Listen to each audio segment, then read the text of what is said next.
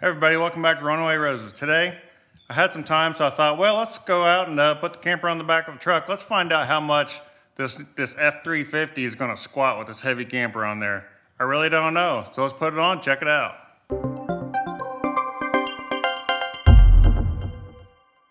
The biggest reason that uh, we went ahead and bought the F-350 is so we can get the camper on and off the truck in the garage. So, which we weren't able to do that with our flatbed on the Ram just because it was so tall. So, and we are limited by the, the height of our garage ceiling, right? So, uh, so now that we can get it in here, I'm super excited about that so I can actually drive my truck around instead of having to leave the camper on the truck in the garage all the time.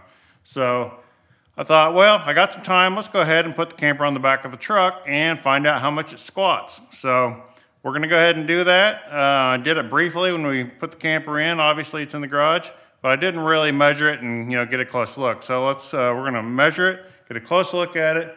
Right now, we're gonna kind of do this in reverse because I have the Super Stop uh, bump stop extensions that I had on my Ram. I kept those and I temporarily put them on the Ford just to kind of see, you know, how they fit and that sort of thing. They kind of work, but I'm gonna end up putting the uh, upper Stableloads from Torklift on there. Uh, so we're gonna go ahead and put the camper on there with those on there, and then I'm gonna remove them, put the factory rubber bump stops back in, and then find out what it truly is, uh, what's gonna happen, you know, with the F-350 with this much weight, 54, 5,500 pounds on the back of the truck, you know, basically straight out of the box. So we're gonna find out. I'm gonna go ahead and uh, go get the truck. We're gonna load it up. And uh, I'm still getting used to loading with the Ford. Um, I've only done it, I think, three times with the Ford. It actually is a little bit easier with the Ford because uh, the, the bed is actually square, or I mean it's rectangle. The measurements are equal from the front to the back versus the Ram. The Ram actually at the back was narrower than it was at the front of the bed. So you had to really pay attention because you can't uh, just follow the, the line of the bed as being uh, in line with the camper because it's not square. So. Anyhow, I'm looking forward to being a little bit easier with that, but here we go. I'm gonna go ahead and get started. Let's go get the truck and back it under.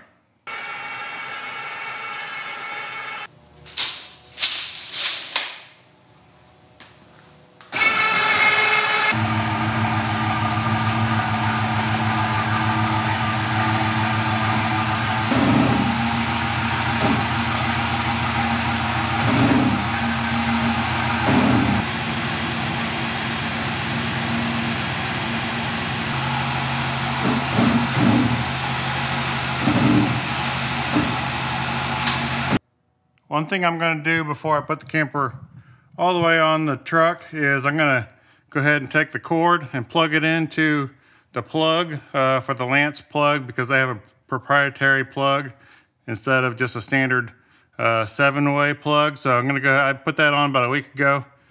And uh, so I'm gonna go ahead and plug this in, make sure all the lights work, and uh, hopefully they all do, fingers crossed, and then I'll go ahead and put the camper all the way on the truck.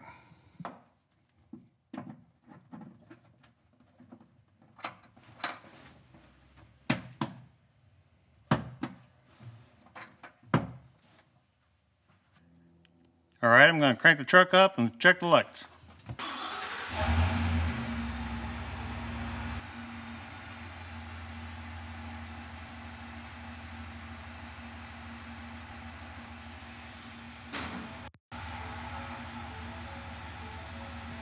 Well, that's great news. All the lights work, so I don't have to worry about that anymore. Basically, I took that wiring harness off my Ram and I installed it on this one. So now that it works, let's go ahead and uh, keep on putting the truck underneath the camper and load it up and see what happens.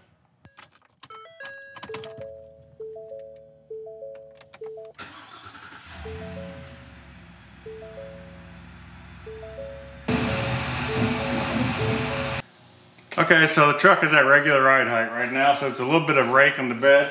So let's measure a couple things here. Let's measure from the ground to the to the top of the bed in the back.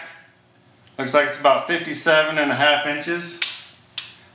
From the ground to the front, it's about 56 inches in the front. So, okay, let's go ahead and measure the wheel well. 42 and a quarter, 42 and a quarter to the bottom edge of the fender. So let's go ahead and drop the camper and see how much it spots. So let me show you what I got going on here. I temporarily have those uh, bump stops from uh, Super Stops on there that are for a Ram, not for a Ford. So I'm definitely not going to keep them on there just due to safety reasons. And I'm looking forward to actually trying out the Stableloads. So, uh, but we're going to lower the camper down on the truck. Let's see how it does. And uh, let's go ahead and get some measurements and we'll put it on the truck with the Super Stops and then we'll put it back on the truck with the uh, just the, the regular factory rubber bump stops.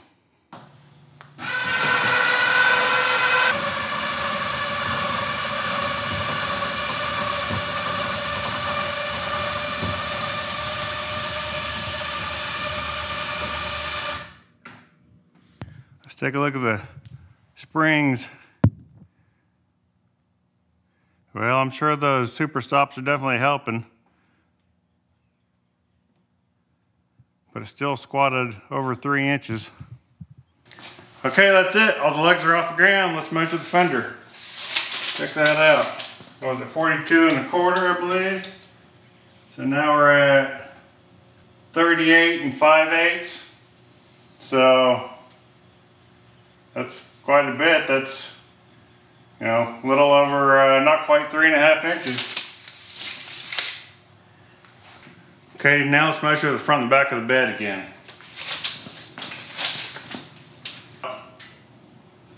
Fifty-two and three quarters and 53 and a half. I don't remember what the original numbers were, but I have to look back and check them. Okay, I got the super stops off. As you can see here, got them off all the way around and put the factory rubber bump stops back on, just real thin rubber pads. They're only about a half inch thick. So there's a lot of room for, for the bed to drop down onto those overload springs. You got good four inches it looks like. So let's go ahead and drop the camper and see what happens. With the camper on the truck, you can see one of the lowest points is the staircase that hangs down the back. So right now it's pretty low. Uh, when I put the Stableloads on, hopefully that'll raise the, the truck up and the camper up another, you know, couple inches or so. Like I said, I am going to remove these, so those will come off, and then and then the bottom of, of the leg will come all the way up. But but uh, the bottom of the steps is going to be the lowest point. So I'll have to look out for that. But hopefully with the Stableloads, the camper will come up and the truck will come up and it'll be a little bit more level and, it, and it'll work just fine. Okay, so the camper's on the back of the truck with it on the factory rubber bump stops. Let's measure it and see where we're at. 38 inches. So honestly, it only squatted about 5 eighths of an inch more than it did with the super stops on uh, because they weren't really super thick.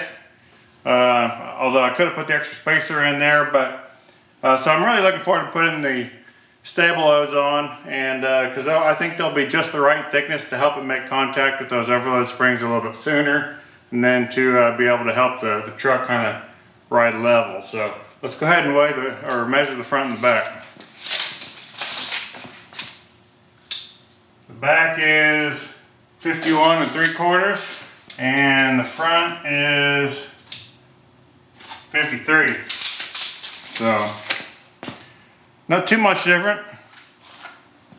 I mean, it, it would definitely be usable as it is without really doing much. But I think the Stableloads, when I put those in there, it's going to give it like just the right uh, ride height. So I'm looking forward to putting those in. So, so there's the new Ford with the Lance on there, 1172. It is on the factory rubber bump stops. There is a little bit of a rake. You can see the front end's kind of high there and, the back is squatting a little bit. So uh, when we get the Stableload, it's gonna level it out and be just right, I think. So that's pretty interesting. Now we know, uh, you know, what a factory Ford F-350 is gonna look like with you know, over 5,000 pounds on, on the bed of the truck. So it's really not that bad. I mean, it squatted, once it hit the overload springs, they only went down just a little bit. Uh, so, you know, those springs are awfully strong. So uh, I'm pretty impressed with it. So I am going to take the extensions off my uh, Happy Jack legs now that I can uh, get it in the garage and I don't need I don't need them anymore. So I'm going to go ahead and take those off while it's on the truck. And uh, so that'll uh, take off a little bit of weight because they are kind of heavy. Uh, they're steel. So anyhow, just for a fun, just afternoon video, thought I'd check, check it out, see what happens to the truck with the camper on it. Looking forward to putting on the frame mounts and going camping. So appreciate you hanging around watching the video and we'll see you next time on Runaway Roses. Bye-bye.